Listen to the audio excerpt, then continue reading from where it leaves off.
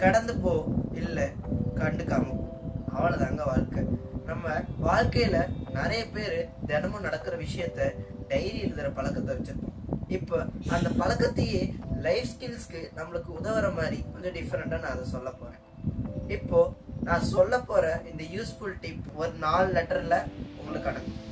D WAR வார் இப்போ டிக்கு என்ன அர்த்தம் அப்படின்னு கேட்டிங்கன்னா வாட் ஐ டிட் இன்னைக்கு நான் என்ன செஞ்சேன் அப்படின்னு சொல்லி நீங்க எழுதணும். அதாவது ஒரு விஷயம் நீங்க வெளில பார்த்தீங்க வெளில எங்கேயாச்சும் போனீங்க அதை பார்த்து வியந்தீங்க அப்படின்ற விஷயத்தை எழுதலாம். நீங்க காலையில இருந்து எவ்வளவு யூஸ் பண்ணிருக்கீங்க அமௌண்ட் அதெல்லாம் கணக்கெல்லாம் இதில் எழுதலாம். இந்த மாதிரி விஷயங்கள்லாம் எழுதுறதுனால உங்களுக்கு சில விஷயங்கள் ஞாபகம் இருக்கணும் அப்படின்னு சொல்லி இருக்கிறது அதுல ஞாபகம் அடுத்து வாட் ஐ வில் நாளைக்கு நான் என்ன செய்ய போறேன் அப்படின்னு சொல்லி நீங்க எழுதணும். நாளைக்கு நீங்க என்ன செய்ய போறேன் அப்படின்னு சொல்லி நீங்க இப்பவே எழுதுறதுனால ஆஹ், நீங்க அந்த விஷயத்துக்கு ப்ரிப்பேரா இருக்க முடியும். அது மட்டும் இல்லாம அந்த விஷயத்த நீங்க கண்டிப்பா செஞ்சு முடிச்சிருவீங்க. அதுக்கு தேவையான விஷயங்கள் வாங்க வேண்டியது அந்த மாதிரி விஷயங்களை கூட நீங்க வாங்கிக்கலாம்.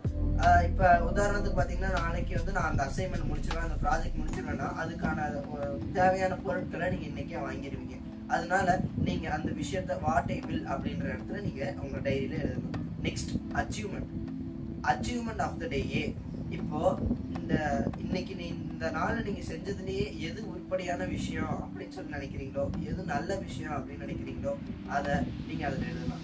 இப்போ ஒரு விஷயம் செஞ்சேன் அது வந்து எனக்கு ப்ராஃபிட்டாக இருந்துச்சு. இப்போ வந்து நான் படித்தேன் அது எனக்கு ப்ராஃபிட்டாக இருந்துச்சு. டிவி ஃபோனு எதுவுமே பார்க்கல. நான் படிச்சுக்கிட்டே தான் இருந்தேன். அதனால் எனக்கு மார்க் இன்க்ரீஸ் ஆச்சு அப்படின்னு சொல்லி நீங்கள் நினச்சிங்கன்னா அது நீங்கள் அதில் எழுதணும் அது மட்டும் இல்லாமல் நீங்கள் ஒவ்வொரு விஷயத்தையும் அச்சீவ்மெண்ட்ஸ்லேயும் சரி W what I will do அப்படின்னு சொல்லி நீங்க செய்யறதுலயும் சரி ஒரு ஷார்ட் டைம் ரிவார்ட்ஸ் வச்சுக்கோங்க. இப்போ நீங்க ஷார்ட் டைம் ரிவார்ட்ஸ் வச்சுக்கும் போது நாளைக்கு இப்போ நான் அந்த விஷயத்த செய்யணும் இப்போ அந்த ப்ராஜெக்டை முடிக்கணும்னு சொன்னீங்க இல்லையா? அந்த ப்ராஜெக்டை வந்து இப்போ முடிக்கணும் அப்படின்னா அந்த ப்ராஜெக்ட் நீங்க முடிச்சிட்டீங்க அப்படின்னா அதுக்கு நீங்க இப்போ நான் சாக்லேட் வேணும் அப்படின்னா அதை முடிச்சுட்டு சாக்லேட் எடுத்துக்கோங்க. அது வந்து ஷார்ட் டைம் ரிவார்ட்ஸ் அப்படின்னு சொல்லி வச்சுக்கோங்க. அது வந்து உங்களுக்கு மோட்டிவேட் பண்ணும் உங்களோட ப்ராஜெக்ட் முடிக்கிறதுக்கு.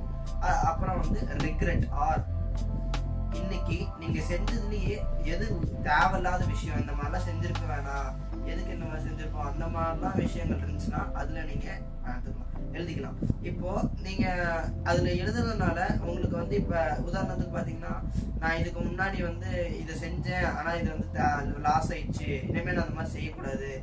இல்லைன்னா நான் ரொம்ப நேரம் செல்லு பார்த்துட்டேன். ரொம்ப நேரம் டிவி பார்த்துட்டேன். அதனால நான் படிக்கல. அதனால மார்க்லாம் போயிடுச்சு. அப்படின்னு சொல்லி நீங்க எழுதலாம். இப்ப நீங்க எந்தெந்த தப்பு செஞ்சீங்க அப்படின்னு சொல்லி எழுதுறதுனால உங்களோட தப்புகள் குறையும். உங்களோட நல்ல பழக்க வழக்கங்கள் வளரும். ஸோ நீங்கள் இந்த டைரி எழுதுறது ரொம்பவே யூஸ்ஃபுல்லாக இருக்கும். டெய்லியுமே டைரி எழுதுங்க. வார் அப்படின்ற நான் சொன்ன யூஸ்ஃபுல்லான டிப்ஸ் யூஸ் பண்ணுங்க. இதனால உங்களுக்கு கண்டிப்பாக சேஞ்சஸ் வரும். அது மாதிரி 15 டு தேர்ட்டி டேஸ் இதை கண்டிப்பாக எழுதுங்க. அதுக்கப்புறம் இதுவே தானாக உங்களுக்கு ஒரு ஹேபிட்டாக மாறிடும். ஸோ இதை கண்டிப்பாக ஃபாலோ பண்ணுங்க. உங்களோட இருந்து விடைபெறுவது Yogesh class ten platinum one Bharathi academy Rettipatti Namakkal.